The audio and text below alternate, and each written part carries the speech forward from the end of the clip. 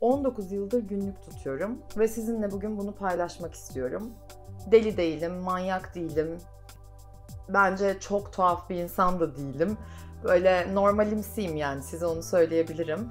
Ama şu var ki yazmayı seviyorum ve hep duygularımı yazıya vuran bir insanım. Ve sanıyorum bu yüzden 19 yıldır günlük tutuyorum.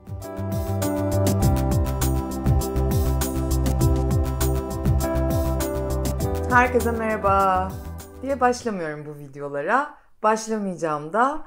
İngilizce'de çok daha rahat. Hey guys, işte give me thumbs up falan böyle diyorlar ve daha güzel, daha samimi, daha içten geliyor. O yüzden başlangıç konuşması ya da başlangıç cümlesi kelimesi ne olacak bilmiyorum. Hoş geldin, iyi ki geldin, iyi ki izliyorsun. Arkamı görüyor musunuz? Tam emin değilim ama görebildiğinizi sanmıyorum. Çünkü ışık ayarı yapmak için arkam büyük ihtimalle böyle bir bembeyaz bir ışık var gibi gösteriyor arkamda. Aslında deniz var ve e, onu da almasını istedim. Şu anda beyaz olarak gördüğünüz arkam aslında çok güzel bir deniz manzarası. Videonun sonunda size onu da gösteririm. Şimdi günlük tutma sevdam nasıl başladı? İlk bunu anlatacağım. Ondan sonra yazmakla ilgili bazı şeyler paylaşacağım sizinle. Çünkü ben de çok etkilendim. Kısa bir parantez açarak da şunu söyleyeceğim. Aslında ben bu videoyu kağıt ve kalem, kağıt kalemin önemi olarak ele almak istiyordum. Sonra bir baktım şöyle Barış Özcan işte bir video çekmiş e, bununla alakalı ve gayet de güzel bir video. E, dolayısıyla ben bunu e, o şekilde ele almak istemedim. Günlüğüme odaklanıyorum. 19 yıldır günlük tutuyorum. Bu şöyle başladı. Bir film vardı, Cruel Intentions diye. Aslında filmin günlük tutmayla hem alakası var hem yok. Ben o zamanlarda işte 13 yaşlarındaydım. Böylelikle zaten yaşım da ortaya çıkıyor. O zaman o filmi izlediğimde hatta en son sahnelerinde o günlüğü işte okuyorlardı. Hani film gereği günlük ortaya çıkıyordu ve bütün sırlar dökülüyordu. O sahne ve genel olarak filmin bu günlük tutmakla ilgili bazı noktaları diyeyim beni çok etkiledi. Böyle wow demiştim ben de günlük tutmak istiyorum. Yani öyle bir sevda uyandırmıştı içimde yıllar önce. Ondan sonra zaten öncesinde de yazıyordum, çiziyordum ama böyle hani sevgili günlük diye başlayan bir defterim hiç olmamıştı. Şimdi bu filmi izledikten sonra hiç unutmuyorum da aslında Çağla diye bir arkadaşımla beraber izlemiştik. O hani ona demiştim çünkü günlük tutacağım inanamıyorum böyle bir şey varmış falan. Çağla da saçma ama ne saçmalıyorsun? O da zaten 15-16 yaşında. Onun ama hiç böyle bir şeye ilgisi yoktu. Neyse ben e, o gün, o gece hatta bir defterim vardı. Onu alıp başladım günlük tutmaya. Tabii ki de ilk bir iki sene sanıyorum belki üç sene sevgili günlük diye devam etti. Bunu hatırlarsınız hani ilkokulda falan hep böyle anılar yazarlardı. Aslında oradan da benim böyle bir sevdam, bir sempatikliğim var. Hani herkese anılar yazdırırdık işte her sene sonunda ve onları sonra okurduk. Bu yıllıklardan da hani yazılar yazılır. Ondan kalma da belki bir şey içimde olan bilmiyorum. Ben başladım günlük tutmaya. Sonra öyle bir gaza geldim ki ben her gün ama her gün yazıyorum. Ve sonrasında bir baktım. E, bundan 4-5 sene önce 15 senede ben toplam saydığım o zamanki kadarıyla 37 defter yazmışım. Yani 37 günlük defterini devirdim. Sonra bayağı bir böyle şaşırdım kendime. Ne yazıyorum ben? Günlük tutmaktan alakasız aslında başka şeyler de paylaşacağım. Ama günlük tutmanın şöyle bir avantajı var. Şimdi birincisi sizin beyninizdeki bir yerleri aktif tutuyor. Yani kolay unutmuyorsunuz, çok kolay hatırlıyorsunuz. Ben mesela beni iyi tanıyanlar bunu biliyor. Fil hafızalısın derler ve kolay kolay unutmam. Hatta bence biraz normale göre fazla detaycıyım. Ve bence bunun da alakası var e, günlük tutmakla. Hem tabii ki karakterinizle benim e, burçları şu anda girmeyeceğim ama e, kuzey ay düğümüm balık, güneyim başak olduğu için bununla da alakası var. Ama burada esas olan hatırlıyorsunuz, unutmuyorsunuz ve beyninizde bir şeyler hep aktive olduğu için o snaps mi diyeyim artık buna, nöron mu neyse o bağlantı daha iyi oluyor. Yani kısacası genç kalıyorsunuz. Birinci sebebi bu. Bu videodan önce şunu da araştırdım. Beyinsel gelişim için, özgün yaratıcılık için, yani özgün düşünceler için de bu e, önemli. Yazı yazmak, günlük tutmak. Ayrıca şu da var. Ben e, sadece günlük tutmuyorum. E, ajandalarım var. Ajandalarıma belki bilmiyorum 10 yıl olmuştur. Hep e, ajandayla e, alırım notlarımı. İşte bugün şunu yapacağım, yarın şunu yapacağım diye. Ve hiçbir zaman e, dijital çağda yaşasam da hatta şu an sizinle kamera, cep telefonu vasıtasıyla yani iletişime geçiyor olsam da inanın bana ben çok dijital bir insan değilim. Dolayısıyla yazı yazmak çok çok eski zamanlara dayanıyor ve analog. Ama bu zaten çok eski şeyler hep daha değerli ya. Doğada olmak, işte sağlıklı beslenmek, hani topraktan gelen şeyleri yemek. Kağıt kalem de bence bunlar kadar önemli. Şimdi konumuza geri dönelim. Günlük tutmaya başladım. 37 dediğim gibi defter devirdim. Ve sonra ben de böyle bir e, ihtiyaç olmaya başladı. Mesela en son herhalde 3-4 gün önce yazmıştım günlük. Ve şu anda daha da yazmak istiyorum. Yani 3-4 günde bir böyle bir yazma isteği geliyor. Böyle bu artık bende dürtü gibi. Böyle bir şey eksik. Sanki duş almamışım gibi ya da dişimi fırçalamamışım gibi. Ve bunun en büyük sebeplerinden biri ne biliyor musunuz? Duruyorsunuz ve dönüp hayatınıza size bakma şansı veriyor.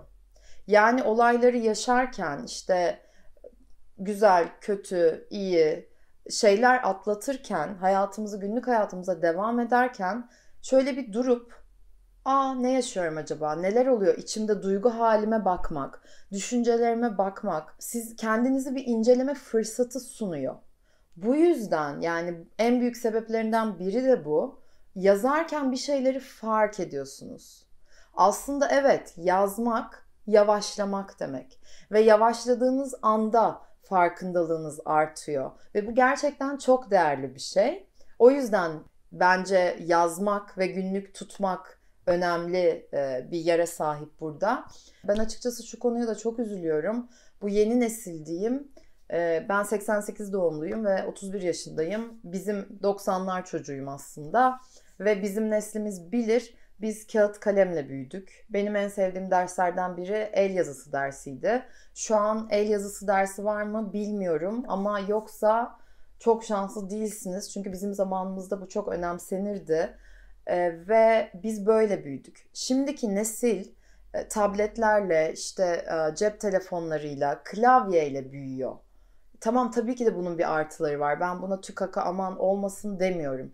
Ama e, çocukların özellikle yazması, çizmesi, o kalemi ellerine alması, o kurşun kalemin dokusunu bir kere hissetmeleri, silgiyle temas etmeleri, o defteri yani defter bir kere kağıtlar ağaçlardan yapılıyor. Onu bilmeleri, buna saygı duymaları bile çok önemli. Çocuğunuz varsa eğer beni izleyen kadınlar bunu gerçekten çok önemseyin. Ay bu çok hani küçük bir şey deyip geçmeyin. Bu gerçekten çocuğunuzda önemli bir yere sahip, çocuğunuza çok önemli değerler katabilecek bir nokta. O yüzden de onu yazmaya teşvik edin. Belki çok iyi bir yazar olacak. Belki çok iyi bir çizer olacak, ressam olacak. Bilemezsiniz. Çünkü yaratıcılıkla ilgili bir şeyleri besliyor. Şimdi günlük tutmaya geri dönüyorum. Ben o zaman günlük tutmaya başladım. İşte hayatımda yurt dışında yaşadığım çok seneler oldu. O zamanlarda da günlük tuttum. Çok düştüğüm zamanlarda da hep yazmaya sığındım diyeyim bir yerde. Çünkü beni hep yazmak kaldırdı. Ve aslında burada şunu da paylaşacağım. Ee, ben müziği çok seviyorum. Müzikle çok alakalıyım amatör olarak. Ve en takdir ettiğim, en böyle wow dediğim, beni derinden etkileyen müzisyenler genelde kendi şarkı sözlerini yazan değerli müzisyenler oluyor. Ve bu müzisyenler neden yazıyor? Duygularını döküyor.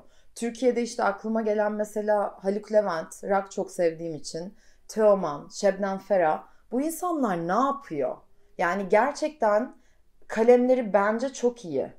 Ve duygularını kendilerinden bir parçayı kağıtlara döküyorlar. Ve Şebnem Ferah'ı biliyorum. O mesela kesinlikle deftere yazıyor. En azından benim bildiğim kadarıyla e, bunu böyle yapıyor. Çünkü onun gerçekliğini kanıksamış durumda.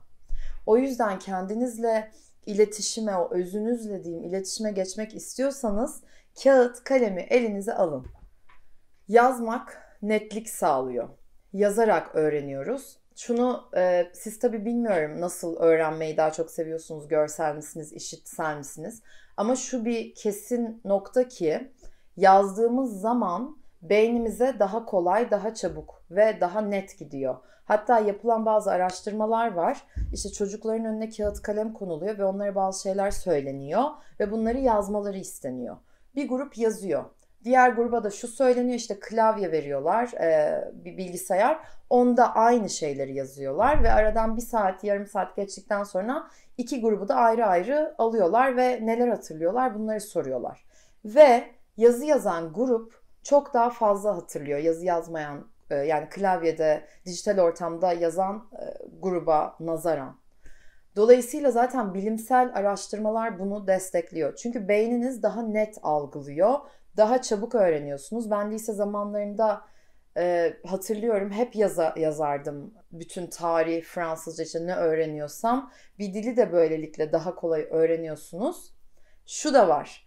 Bir şeyi 40 kere söylersen olur. Bu Türk atasözü galiba bu konularda süper değilim. Ama bir şeyi 40 kere yazarsanız da oluyor. İşte bir ara bu çekim yasasıyla isteyin olsun, hayatınızda olmasını istediklerinizi söyleyin olsun diye böyle bir akım olmuştu bu ki doğru. Bunun yazarak olması bu süreci çok daha fazla hızlandırıyor.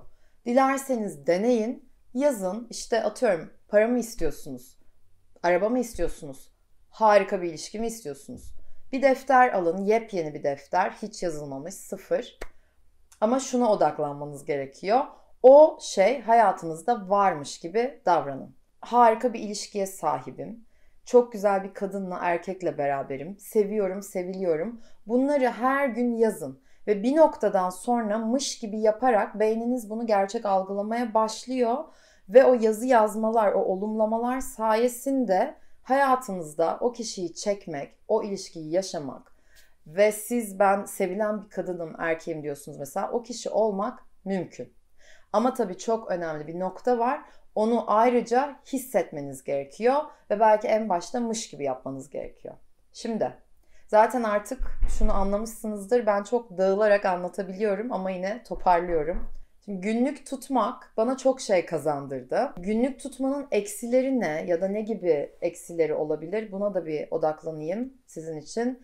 Düşünüyorum. Belki kendim için şunu söyleyebilirim. Çok daha fazla detaycı olmama sebep oldu. Belki bu kadar her şeyi hatırlamak istemeyebilirdim. Daha kolay hatırlıyorum. Ama aslında eksisi baktığınızda yok. Yani her yere yanıma bir defter alabiliyorum. Her zaman yazı yazabiliyorum. Hatta 16-17 yaşlarındayken çok şarkı sözleri yazardım. Bu anlamda beni çok etkiledi. Dolayısıyla dengeye koyduğumda, teraziye koyduğumda artıları burada kalıyor. Ee, bu arada biz nesil olarak şöyle de bir nesiliz. Hani hep annemiz babamız işte okuyacak korkusuyla da büyüdük. Belki bundan dolayı da aranızda günlük tutmamayı isteyenler vardır. Bilmiyorum benim işte lise yıllarımda diyeyim ya da ortaokul yıllarımda böyle kilitli şeyler çıkmıştı. Günlükler ben ondan alıyordum mesela. Ona yazıyordum. Ve e, şöyle bir şey daha oldu. Sizinle bunu da paylaşmak istiyorum. Lise zamanlarımda platonik olarak böyle sevdiğim biri vardı. Ona mesela ben e, platonik olduğu için tabii hatta çocuğun çok haberi de yoktu kendi kendime yazılar yazardım. İşte hikayeler, şiirler, hani duygularımı çünkü aktarmam gerekiyordu. Ve bu da çok önemli bir noktası. Duygu aktarımınızı yaparsanız bu duygusal olarak bence daha sağlıklı oluyorsunuz. Ve dolayısıyla da onu kağıda dökmek de çok güzel yollardan biri.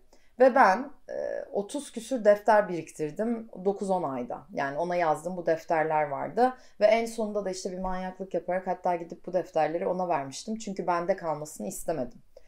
Tabii o çok şaşırdı. Okumuştur %90. Sonuç olarak benim için çok büyük e, etkisi var günlük tutmanın. E, sizleri, herkesi günlük tutmaya bütün bu sebeplerden dolayı teşvik ediyorum. Bu videoyu bir soruyla bitireceğim. Günlük tutuyor musun? Tutuyorsan eğer bunun ne gibi faydalarını gördün ya da çok hoşuna gitmiyorsa ama hala bir sebepten dolayı tutuyorsan bunu benimle paylaş lütfen. Eğer ki tutmuyorsan tutmayı düşünür müsün? Ee, bunları benimle yorumlarda paylaşırsan çok severek okuyacağım. Bu videoyu beğendiysen beğenmeyi, abone değilsen de abone olursan çok sevinirim. Ayrıca bildirim zilini açarsan da her hafta gelen videolardan haberin olur. İyi günlük tutmalar. Ee, yorumlarınızı bekliyorum, deneyimlerinizi bekliyorum. Sevgiyle kalın, hoşça kalın ve size söz verdiğim gibi bu manzarayı size göstereceğim.